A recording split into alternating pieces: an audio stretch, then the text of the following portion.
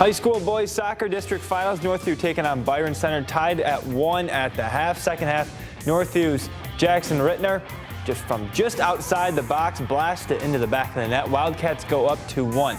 A few minutes later, Byron Center responds. Caleb Smith sneaks behind the defense and ties the game up at two. Less than a minute to play. Byron Center's Braylon Legg the game-winning goal with just 24 seconds left. The freshman heads it in. Byron Center wins it 3 to 2.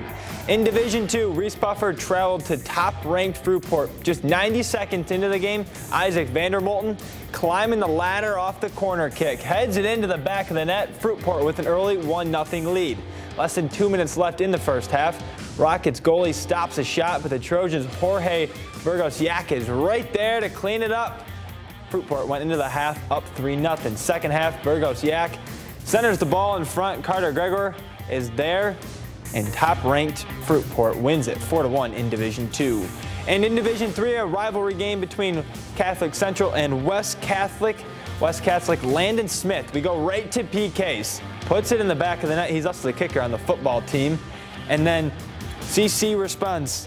Ishmael Gutierrez gets CC on the board but it would come down to the end. In the end, Griffin Bin wins it for West Catholic. They go on to win it 4-3 in PKs and take it 1 to nothing.